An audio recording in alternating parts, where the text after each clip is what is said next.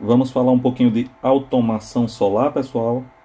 Estamos aqui diante de uma chave de transferência enviada aí pela empresa Brasil Tech, modelo aí CT2 92001 4P. Corrente, Tarcísio, de trabalho dessa chave aqui 100 amperes, pessoal. Corrente aí de comutação 100 amperes. A tensão dessa aqui específica é 220 volts. Nós vamos trabalhar aqui com ela com a tensão em 220 volts. Qual o diferencial dessa chave aqui, Tarcísio? Vamos falar algumas características dela. Rapidez na comutação. 0,03 segundos. Praticamente aí um décimo de um segundo. O que é que tem mais de especial nessa chave de transferência, Tarcísio? Segurança, pessoal. O sistema aí de intertravamento que essa chave possui, ela garante que durante a comutação, durante a passagem aí de suas chaves mecânicas de comutação, não haja qualquer possibilidade de, dos contatos da fonte principal ou da fonte reserva que elas entrem em contato, que elas simultaneamente façam contato entre seus polos, o que uma contatora comum não garante, pois não trabalha nesse sistema de intertravamentos.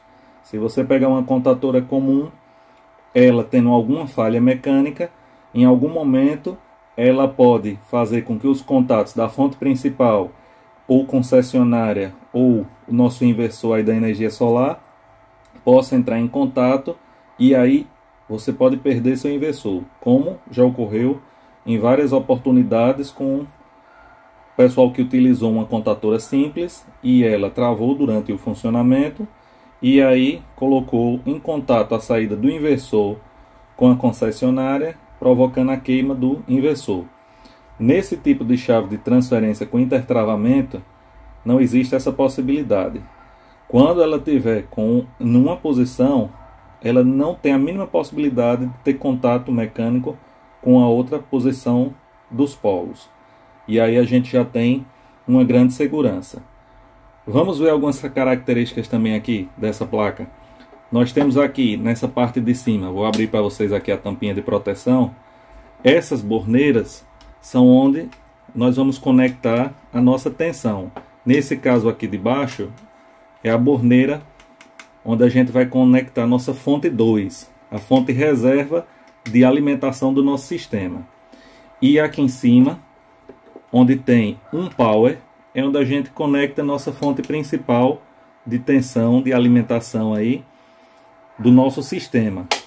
Aí a um power, veja as borneiras robustas, porque são 100 amperes, né, pessoal, de comutação. Veja os contatos. Vamos lá. E aqui na parte de baixo, você olha que tem outra borneira, que aqui são as saídas de tensão do nosso sistema. Que a gente ligar na entrada 1, que é a principal, ou na entrada 2, vai sair por essa borneira aqui de baixo, que são as saídas dessa chave de transferência. Veja os parafusos muito robustos e veja aí o acesso. Ele possui aqui esses furinhos entre um e outra, justamente para a gente ter acesso pela de cima, para fazer o ajuste aqui, tirar os parafusos e colocar a fiação. Veja, nós temos aqui nessa chave, pessoal, esses contatos aqui. O que são esses contatos aqui, pessoal? Esses bornes. Nós temos esses bornes tanto para entrada 1, quanto esse borne aqui para entrada 2. E nós temos aqui cinco contatos. Os três primeiros contatos são contatos reversíveis, que você pode usar aí para uma outra automação e para outras funções. Que nesse momento aqui a gente não vai entrar muito a fundo nesses contatos, mas seriam como contatos normalmente fechados, novamente abertos, como se fosse um relé. E a gente poderá usar para outras automações mais específicas. E nós temos aí no, no pino 1 e 2, aqui onde tem a fase neutro, nós temos aqui a detecção de tensão. O que é isso, Tarcísio? É onde a gente vai usar a referência. Nós vamos puxar aqui, nós vamos fazer um jumper da entrada de alimentação 2 para a referência 2. E aí a chave vai monitorar quando tem tensão aqui na entrada 2 da chave de transferência. É através desses polozinhos aqui que vai fazer a detecção se tem tensão nesses terminais aqui da nossa fonte secundária, a fonte 2. Da mesma forma aqui na parte de cima, esses bornezinhos aqui vai obedecer a mesma ordem da de baixo. Nós temos aí os terminais dos contatos reversíveis e temos os dois polos onde a gente vai ter a detecção de tensão. E a gente vai buscar essa tensão na entrada aqui 1 da nossa chave de transferência. Então, se você for utilizar aqui a entrada 1, fonte principal, a energia solar, nós vamos aqui ficar monitorando esses terminais, vai buscar uma amostra dessa tensão aqui, para ficar monitorando, para a chave saber se tem tensão aqui na entrada principal, que no nosso caso vai ser energia solar, e aqui na parte de baixo, como já explicado, esses contatos vão ficar monitorando a entrada 2, que nesse caso aqui da gente vai ser a concessionária, para saber quando tem tensão da concessionária e quando tem tensão da energia solar. Modo de operação, Tassis, dessa chave de transferência. Veja, pessoal, nós podemos trabalhar aqui com o modo automático e o modo manual. Antes de explicar, já queria pedir aí para vocês para dar uma visitada aí no canal da Brasil Tech, se inscreva lá para acompanhar novidades sobre chaves de transferência e demais automações. Vai ficar aí no link, no descritivo do vídeo, tanto o link aí de compra direta, quanto da indicação aí do canal Brasil Tech no YouTube, para que vocês possam também seguir lá o canal, se inscrever, beleza? Vamos lá, pessoal. Modo manual. Ativado aqui, ó. Vou deixar aqui modo manual e aí manualmente vou fazer a escolha entre fonte reserva ou fonte principal, só selecionando essa chave.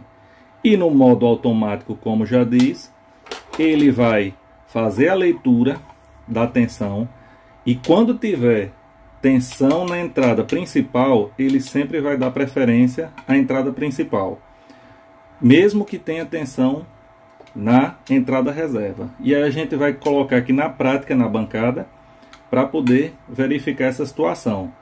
E essa chave vai responder muitas perguntas dos vídeos anteriores da automação, que o pessoal me perguntava, Tarcísio, eu quero usar minha, minha energia solar como fonte principal aí de alimentação da casa. E eu quero que quando falte energia também da concessionária, ela não deixe minha casa no escuro. Quero que é, transfira para a energia solar.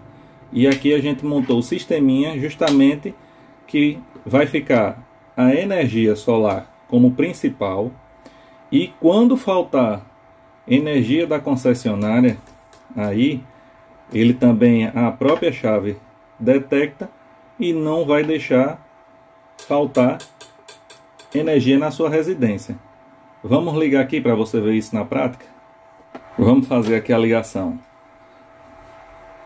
O inversor aqui, ó, 220 volts, está ligado e vai ser nossa fonte principal de alimentação. E essa lâmpada aqui representa a nossa saída de carga, a, a nossa residência. Vamos lá. Olha, veja. Tomadinha aqui. Entrada principal da nossa chave de transferência. Vai ser alimentado com energia solar. Representada aqui pelo nosso inversorzinho em 220 volts. Veja. Já começamos a ter uma alimentação principal aqui. Vamos alimentar a entrada 2 da nossa chave de transferência com energia da concessionária. Vamos lá. Vamos passar também a alimentar com energia da concessionária. Nesse momento nós temos os LEDs indicadores da chave. Eu vou mostrar para vocês. Nós temos aqui. Deixa eu cobrir um pouco a lâmpada. Nós temos dois LEDs. O LED vermelho, que está indicando aqui que tem tensão na fonte principal. E nós temos aqui o LED verde também indicando que tem tensão na fonte secundária, que no caso seria a concessionária de energia. E nós vamos ver agora, eu vou desligar nossa fonte principal, que é a solar, e vocês vão ver como ele está na posição automática aqui, ele não vai deixar a residência sem energia. Ele vai passar automaticamente da fonte principal, que é a solar, para a reserva, que é a concessionária. Nossa função aí, para não deixar faltar energia de jeito nenhum. Ó, desliguei a fonte principal, que é a solar. Vocês vejam que o LED indicando aqui o LED vermelho indicando que a fonte principal está tem alimentação apagou, porque nesse momento não tem. E aí a gente vai voltar a alimentar com a energia solar e vocês vão ver que automaticamente já vai passar aí novamente para a energia solar. Veja que a comutação é muito rápida. Agora, vamos fazer um teste aqui no modo manual. Vou passar aqui a chavezinha, o disjuntor, disjuntor não, o interruptor para o modo manual, pessoal. Veja. E aí, agora eu vou operar através da chave. Nesse momento aqui, está na posição 1, ou seja, a entrada principal. Pau é 1, que é a solar que está alimentando. Vou até desligar aqui da concessionária, vocês vão ver. É a, a principal é a solar. Se eu desligar aqui a solar, ó, vai apagar. Está no modo manual. Agora, vou mudar aqui manualmente e vocês vão ver que essa mudança manual ela é um pouco mais lenta do que a automática, porque vou, vai depender aqui ó, da velocidade de minha mão para mudar, fazer essa transferência, mas ocorreu normalmente. Nesse momento aqui, está na concessionária. Vou aqui tirar a solar, ó, não mudou nada. Está no modo manual. Se eu tirar aqui a concessionária, vai ficar sem energia, porque modo manual. Eu escolhi funcionar com a concessionária. Como eu tirei a concessionária, a casa ficou sem energia. Mas, voltando agora para o automático, olha, voltou para o automático, ele verifica se tem tensão na entrada principal e já faz a comutação automaticamente. Porque ele sempre vai dar preferência à entrada principal. E a chave é inteligente porque ela só vai fazer essa mudança também se tiver tensão. Ela não vai tirar da concessionária e vai jogar para energia solar se ele não tiver fazendo a leitura e verificando que tem tensão do inversor aqui na entrada da chave. Por isso que essa chave ela é muito especial e muito boa para a gente utilizar aí na energia solar, porque ela tem um monitoramento de tensão em suas entradas. Ela vai sempre priorizar que o circuito, que nossa casa esteja alimentada, fazendo monitoramento da tensão de entrada da principal, que no nosso caso aqui, no nosso exemplo, é energia solar, e vai monitorar também a fonte secundária, que é no caso aqui a concessionária. E de forma inteligente, sempre vai estar tá priorizando nossa entrada principal você vai escolher se vai ser a concessionária ou a solar. E depois que escolher, antes de fazer a transferência, quando faltar uma fonte ou quando você fizer o chaveamento automático aqui, ele sempre vai verificar primeiro se tem tensão para fazer essa mudança. Não tendo atenção, aí ele vai dar preferência, mesmo que seja a energia a fonte secundária, a secundária porque ela está mostrando a chave que tem tensão. E isso é a coisa mais importante aqui para a gente. Esse, essa automação com inteligência dessa chave de transferência. Beleza? Para finalizar aqui, pessoal, a explicação da nossa chave, só para lembrar para vocês, ó, são quatro posições, quatro polos aqui, A, B, C e neutro. Então, são três fases que eu poderia ligar, mais o neutro. No nosso exemplo, a gente só colocou um fio no neutro e uma fase. Nosso sistema simples, aí uma fase e o neutro. E todas têm suas correspondências. O que entrar aqui em cima, vem aqui embaixo, tanto na A, B, C ou o neutro. São quatro posições, quatro entradas. Beleza? Essa foi aí a, a nossa revisãozinha dessa chave de transferência com intertravamento e com monitoramento das tensões de entrada. Certo, pessoal? Uma boa chave aí para a gente utilizar no nosso sistema de energia solar. Link aí na descrição do vídeo. Chegou, chegou, chegou, chegou, meu povo! Hoje super salve. Por que super salve assim? Porque a gente vai pegar os amigos que aceleraram, que tacaram like, taca, taca, taca, taca, taca o like também. Aqueles que ativaram o sininho e quando o vídeo subiu disseram, Tarcísio, eu quero meu salve dos dois últimos vídeos. Beleza? Teve um vídeo que não teve salve, mas a galera chegou junto, tacou like, pediu seu salve. No outro teve o salve e a galera também pediu. Então, vamos pegar os primeiros de um vídeo e os primeiros do outro, dos dois últimos vídeos, e fizemos aqui um super salve. Poxa, valeu, mocinho da cabrita, onde é que tá? Eu não sou a cabrita não. Bora, bora, bora ver quem chegou acelerando, quem chegou aí rasgando que nem fogo no meio da mata. Vamos lá, o primeiro, nosso amigo aí, Matheus Santos de Piracicaba. São Paulo. Chegou, acelerou e pediu seu salve. Ganhou seu salve. Quem foi outro?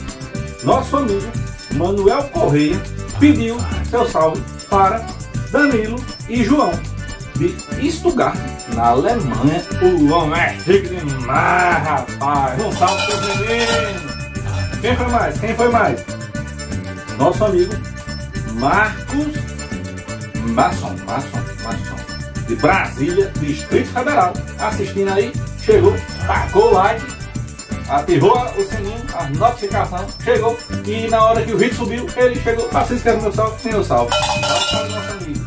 Quem chegou mais? Quem chegou mais? Nosso amigo Augusto de Imperatriz, no Maranhão. Nosso amigo Samuel Júnior, de Salvador, Bahia, disse, olha, não perco um. Eita, marrochado, meu salve. Nosso amigo Vanderlei Miranda e Feira de Santana, Bahia, pertinho também, hein? Eita, demais! Nosso amigo Francisco Craveiro, de Nova Olinda do Norte, Amazonas, Quem também? Quem também? Nosso amigo Robert Can, lá de Curitiba, no Paraná. Tá quente, né? Eita! Nosso amigo Alessio Moraes, de Agudos, São Paulo. E o nosso amigo Ivonei Sampaio pediu para seus filhinhos, não, seus filhinhos não, seu filho, Luiz Henrique Sampaio de Jacareí, São Paulo. Olha eu querendo complicar o homem, seu filho. Pessoal, não esquece, taca like, comenta, e dá uma boa noite aí, para poder ajudar aí nos vídeos. E outra, pega o zap zap aí, rapaz, pega o vídeo, Manda ali, ó, no compartilhar, manda pro zap dos amigos. E Roy, assista esse doido aí que fala da energia solar, vamos ajudar ali o Caba, beleza? Ajuda o Caba aqui para poder a gente continuar aí fazendo os vídeos para vocês, beleza? Grande abraço aí para vocês, valeu!